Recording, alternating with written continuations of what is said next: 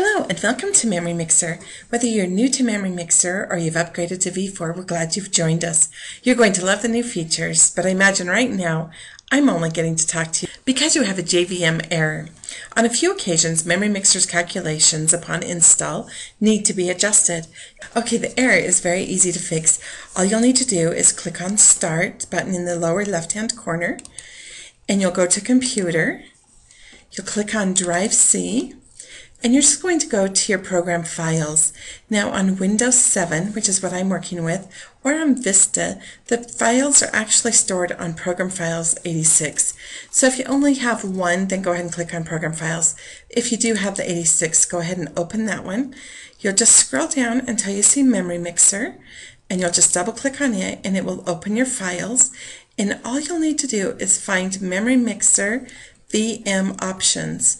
Now there are two of them. One of them is Memory Mixer Console. You only want to use the one that's Memory Mixer VM options.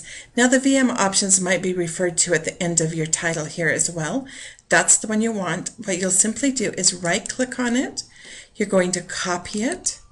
Then you'll right click out here on your desktop and you're going to paste it. And then you will simply double click on it on your desktop and you can see it opens here. Most often you'll find, let me scoot it over so you can see it first. Most often you'll see the number 2048. All you need to do is highlight that and simply change it to 1024. No spaces, you're just adding it 1024 and then you'll click on the X. It asks if you want to save it, save it.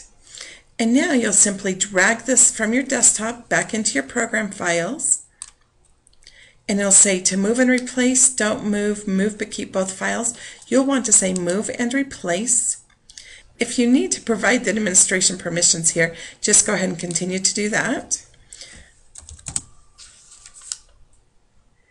And now you should be able to click on Memory Mixer application right here and your Memory Mixer will open up just fine. If Memory Mixer does not open, follow the same procedures, but change the numbers to 765. If that doesn't help you, then go ahead and give our office a call at 801 298 1979 or feel free to email us at techsupport at memorymixer.com. So I just want to take a minute. If you don't subscribe to our newsletter, make sure you sign up today. There's many tips and tricks, freebies, specials, product updates. To join our newsletter, simply go onto memorymixer.com homepage and along the top menu, I think it's the third button from the left, there's a newsletter button. Just go ahead and click that. Also make sure you like us on Facebook. Um, you'll find us at facebook.com slash memorymixer.